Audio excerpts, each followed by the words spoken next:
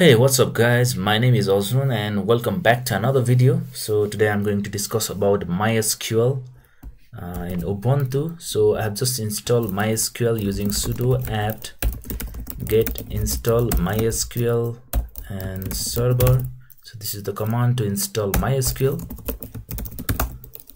And I have installed this and when I try to open this by using this command enter and just type enter so this kind of error is showing in my ubuntu. So how can i fix this?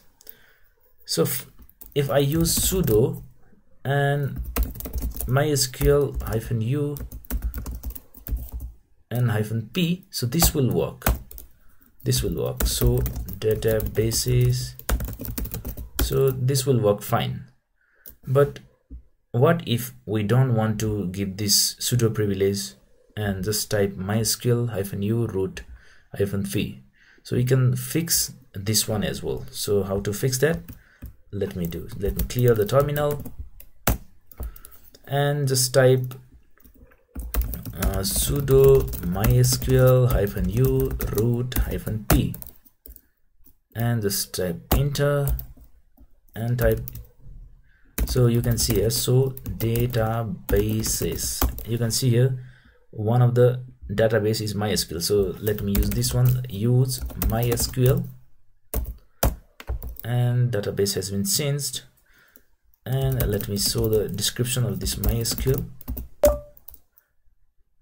Okay the, the there is no table in the mysql. So let me do update uh, user set plugin plug in equals mysql uh, native password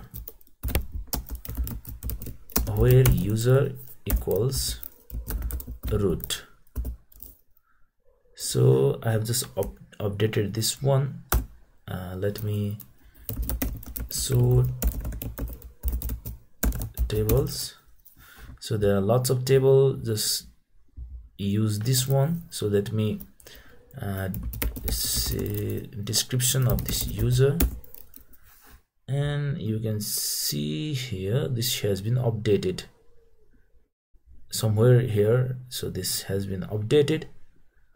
Now uh, let me use flush. Privileges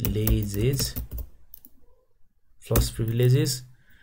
And let me do exit and just type the command mysql hyphen u root minus p.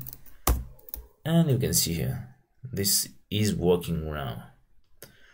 So thank you so much for watching. If you like my video just like and subscribe my channel